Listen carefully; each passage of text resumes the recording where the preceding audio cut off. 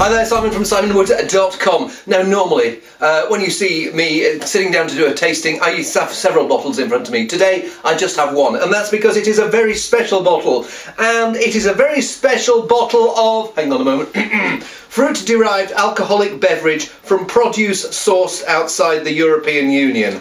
Yes, that's what this wine has to be called. Oh, sorry, I'm not supposed to call it a wine, I'm supposed to call it a blah, blah, blah, blah, blah, all that lot. What it is, um, they had this thing uh, that, that, that I think Wines of Argentina started it in 2011, and they decided that they were going to have uh, World Malbec Day. Well, it says on the bottle of here, World Malbec Day. It's actually called Malbec World Day.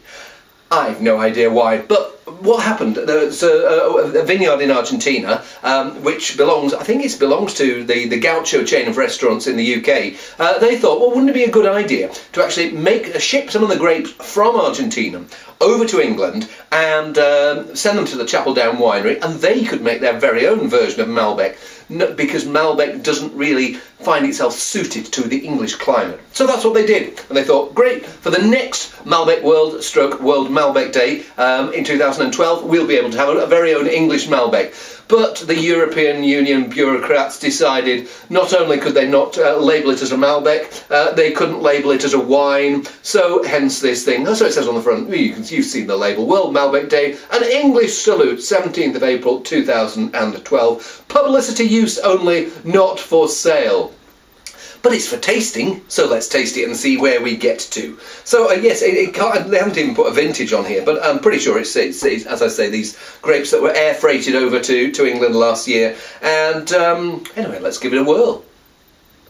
Well, first thing I notice uh, is this, the appearance of it. Some Malbecs that uh, are made in Argentina, uh, they're, they're not so much red wine as black wines. You can um, some, some people describe them as wines you can walk a mouse over. This one, um, and, and it, uh, it, said on uh, some of the blurb that the, the winemaker fermented it at cooler temperatures than normal, and certainly there's a freshness and life here, which I associate much more with a European style wine than with a um, well, with the style that has become traditional in Argentina over the last uh, 20 years, if that makes sense. But yes, there's a fresh cherry bounciness about it. It's got the Malbec uh, fragrance. It's got that little bit of violets. 14% alcohol, but it doesn't come across as that. It comes across as being actually quite a light, friendly, almost Beaujolais wine. Smells good.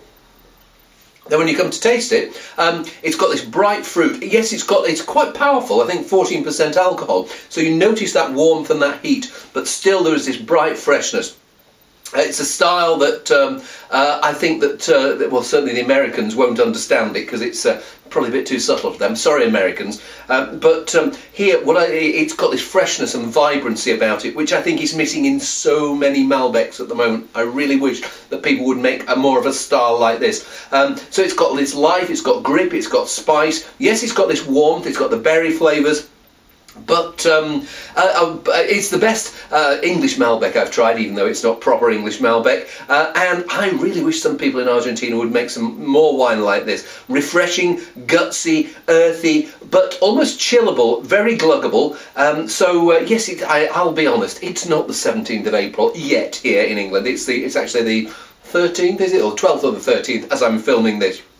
But um, uh, I'll be quaffing this. It's a really, it's a quaffing wine. I want to quaff quite a lot of this, and I'll be doing that tonight. Going out for dinner. Not sure what we're going to have to eat, but uh, I, am sure I'll find something that will go perfectly with this. So, well done Chapel Down, well done Gaucho Restaurants, and European Union. Go and have a taste of this. It's a nice wine. Find a category for it. And so the next time it's Malbec World Stroke World Malbec Day, then maybe it can celebrate it in true fashion on the front label. I'll stop ranting now and I'll go away and have a full glass of it. See you soon.